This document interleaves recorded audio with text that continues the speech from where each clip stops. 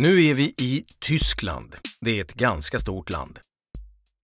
Tyskland har faktiskt störst befolkning i hela EU. Här finns det ingen hastighetsbegränsning på vissa vägar. Ja, man kan köra så fort man vill. Det tycker inte Danny om. Hon vill att alla vägar ska ha hastighetsbegränsningar. Ja du, Danny, det låter som att du vill vara med och bestämma. Du måste först gå med i ett parti. Eller starta ett eget. Och så måste folk i kommunen rösta på dig. Du kan antingen försöka få röster så att du blir en del av kommunfullmäktige eller borgmästare. Men du kanske får vänta en stund. Beroende på var du bor i Tyskland är det nämligen kommunalval mellan vart fjärde och sjätte år. Se där, du vann valet! Du lyckades få tillräckligt många människor att rösta på dig. Om du kan införa hastighetsbegränsningar nu? Ja, det beror på. Det är nämligen förbundsländerna som bestämmer vad varje kommuns ansvar är. Men sa vi inte att vi var i Tyskland? Finns det flera länder?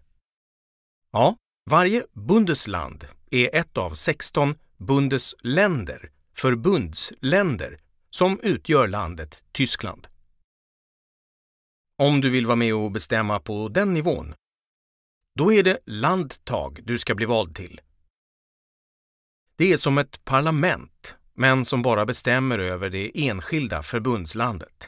Men kom ihåg att nu måste du nå hela förbundslandet för att få fram ditt budskap. Grattis! Du blev vald igen! I Landtag har du främst hand om kultur, utbildning, miljön och polisväsendet inom ditt förbundsland. Du får också bestämma vad de enskilda kommunernas ansvar är. Vill du bestämma att det ska finnas hastighetsbegränsningar i hela landet? Ja, då får du se till att bli vald till Tysklands parlament, som kallas för förbundsdagen eller Bundestag. Val till Bundestag äger rum ungefär vart fjärde år. Nähä, den här gången fick du tyvärr inte tillräckligt många röster. Väljarna i din valkrets valde någon annan. Men vänta nu, du har faktiskt en annan möjlighet att komma in i förbundsdagen. I tyska riksdagsval röstar man nämligen två gånger.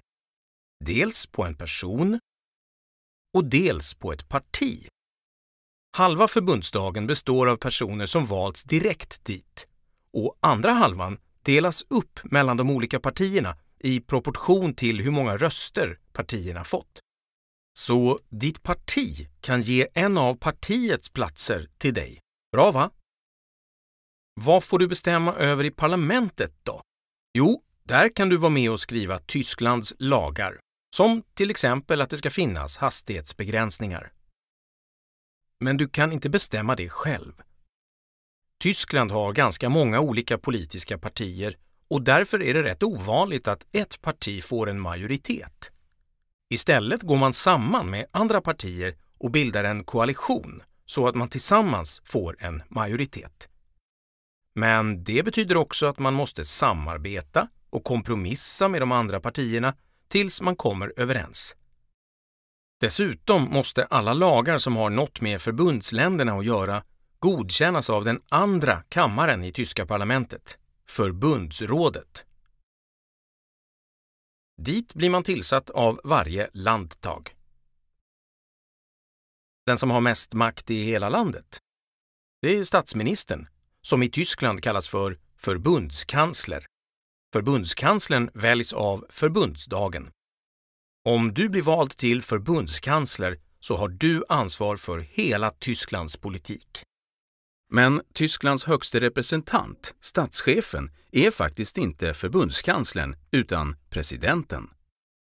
Däremot har presidenten inte så mycket makt. Det är mer en symbolisk, ceremoniell position.